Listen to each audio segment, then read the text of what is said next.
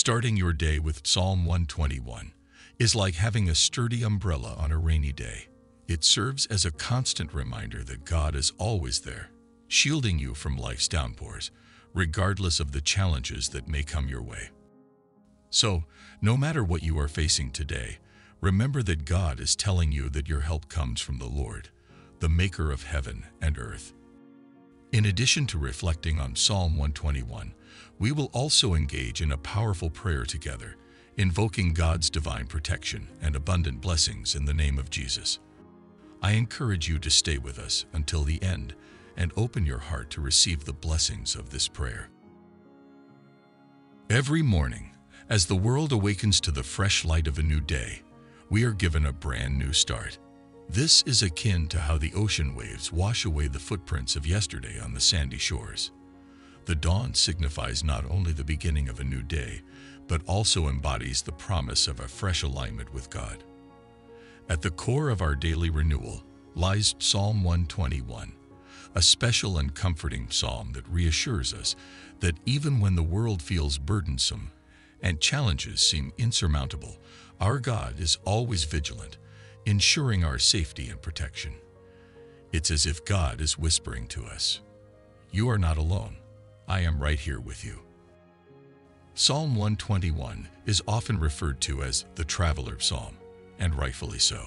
It serves as a powerful prayer to commence your daily journey, reminding us that no matter where life takes us or what challenges we encounter, God is always with us, watching over our every step.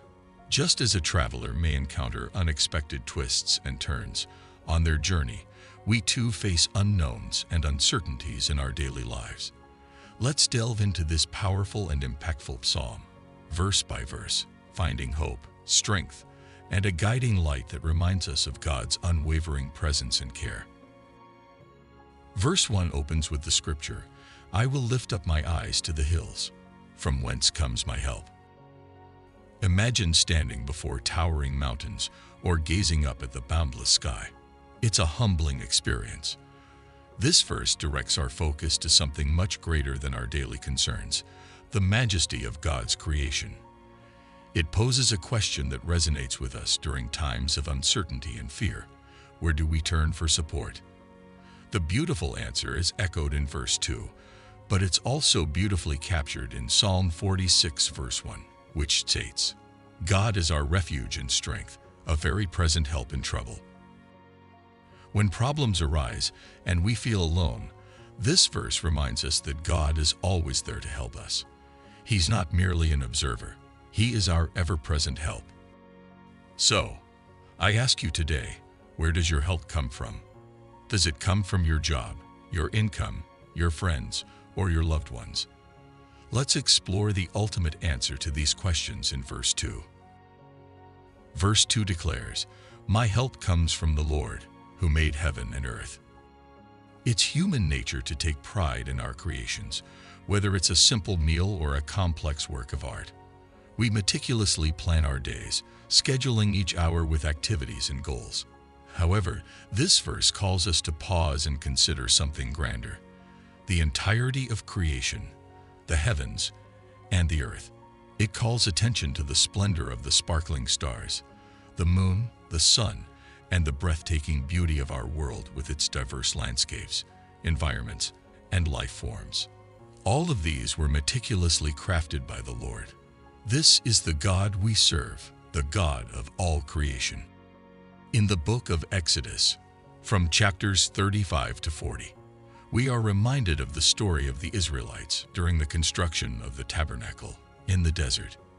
Every artisan was filled with the Spirit of God to design and create. Consider that their abilities were not solely their own. They were gifts from the divine creator. Similarly, our skills, intelligence, and even our capacity to plan are gifts from God. This realization is both humbling and empowering. If our daily plans seem significant, how much more significant is the one who created the universe. By acknowledging that our true help comes from the creator of heaven and earth, we place our trust, not in our limited abilities, but in the boundless power and wisdom of God. This verse, in its simplicity, reminds us that no matter how imposing our hills may seem, our helper is infinitely greater. Our God is bigger than our problems. Now let's turn to verse 3, which reads, He will not let your foot be moved. He who keeps you will not slumber. Each day, we wake up to a world filled with surprises and uncertainties. Some days feel like walking on a tightrope, with challenges ready to throw us off balance. However, this verse provides a powerful promise. God will not let our foot slip or be moved. It's akin to having the world's best balance keeper by our side. Consider the story of Peter walking on water in Matthew 14 verses 22 to 33. As long as his eyes were fixed on Jesus, he could achieve the impossible. However, when he shifted his focus to the raging storm, he began to sink.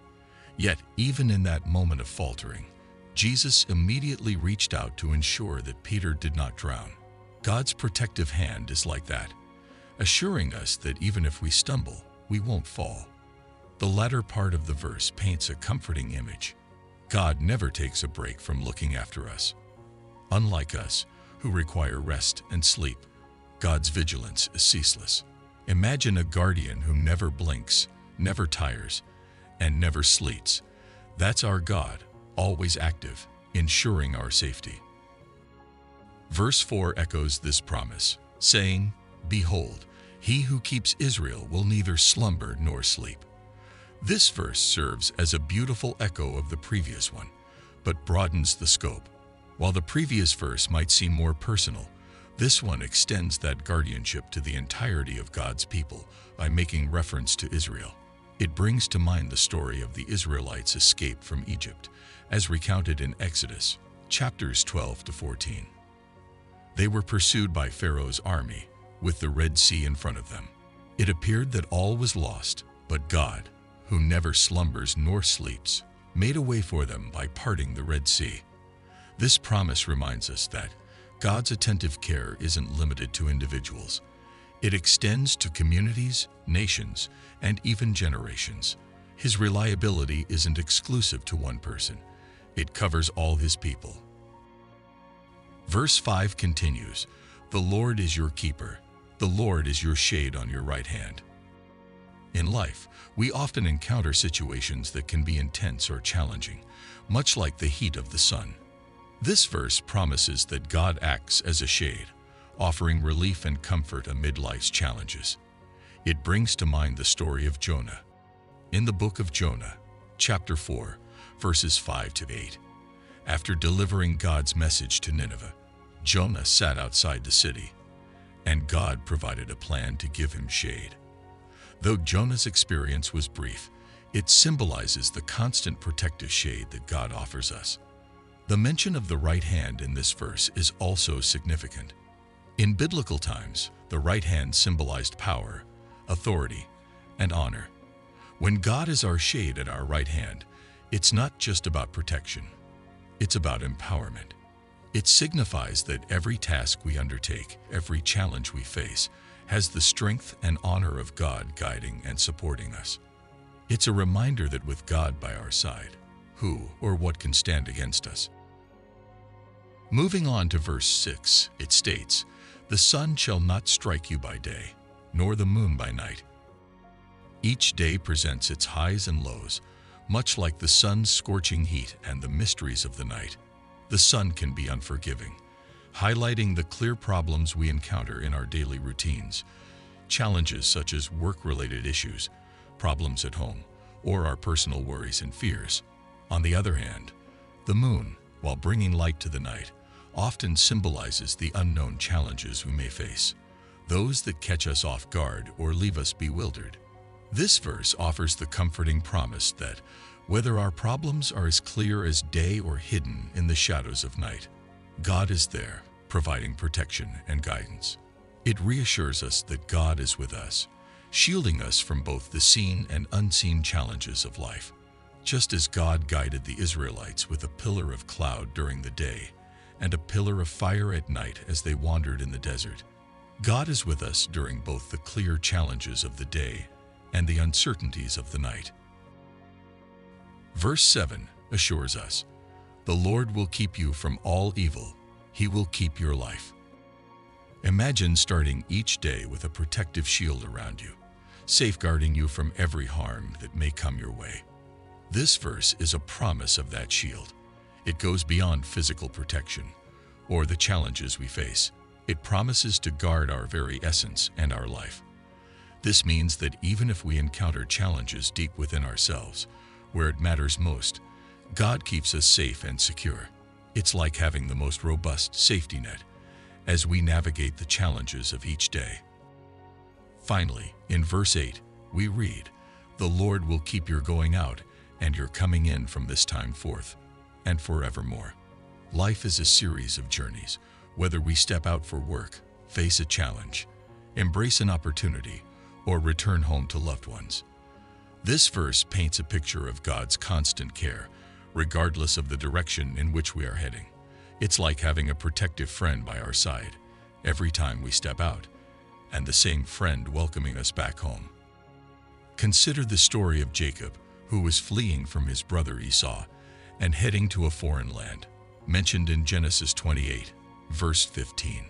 God promised him, I am with you and will keep you wherever you go, and will bring you back to this land. Even in unfamiliar territory, Jacob wasn't alone. God was watching over his going out and his coming in. Similarly, this verse from Psalm 121 assures us that God's care isn't limited to today or tomorrow. It extends to eternity. Whether we are facing a new day, embarking on an adventure, or returning from a journey, God's promise remains unbroken. He watches over every step we take, from now until the end of time. This thought offers a comforting blanket of assurance, reminding us that, in the grand story of our lives, God's protective hand is always there, looking out for us.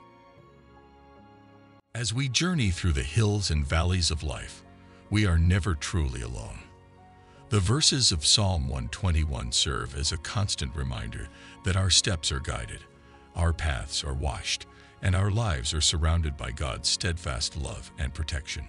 So, whether you are stepping into a new challenge or returning from a journey, take heart, for God's promise of care, protection, and guidance is unwavering. In the big story of our lives, God's protective hand is always there, looking out for us. Now let us approach the Lord in prayer. I invite you to pray this prayer with me, so you may receive the blessings it brings. Heavenly Father, Eternal King, Creator of heaven and earth, we come before you with hearts full of gratitude for your grace, mercies, and love. We thank you for the assurance that your mercies are new every morning, reminding us of your everlasting love for us today and every day. We claim the promises of Psalm 121 over our lives, declaring that we will walk in confidence, knowing that you guard our steps and watch over our paths. We acknowledge that you are our very present help in times of trouble, and you are our keeper. We thank you that you are our shield and buckler, protecting us day and night, delivering us from all evil. We thank you for your divine shade, offering relief amid the heat of life's challenges. We lift up our loved ones before you, praying that they draw closer to you, experience your truth, love, and grace. We ask for your mercy, guidance, and protection in their lives. As we say this prayer together with everyone listening, we pray that each person is touched by your loving presence. We ask that burdens are lifted, troubled minds and hearts find rest and peace in you and that you comfort us through your Holy Spirit. For those who are hurting and those facing sickness or the symptoms of sickness, we pray for your healing anointing to flow through their entire being. May the power of our collective faith bring blessings, peace, and positive transformations in lives, near and far. We place all our concerns, dreams, and desires into your capable hands, asking that your will be done in our lives. Thank you, Lord, for hearing and answering our prayer in the name of Jesus. Amen. If you were blessed by this message, please type Amen in the comments section below. We declare that all the blessings of this prayer are now upon you in the name of Jesus. You can help us reach more people and spread the gospel by sharing this video with a friend or family member who needs the blessings of this prayer. Don't forget to click the like button and subscribe to the channel for more uplifting content. We appreciate all those who support us, and remember that you are blessed to be a blessing. May the grace and peace of our Lord Jesus Christ be with you all. Amen.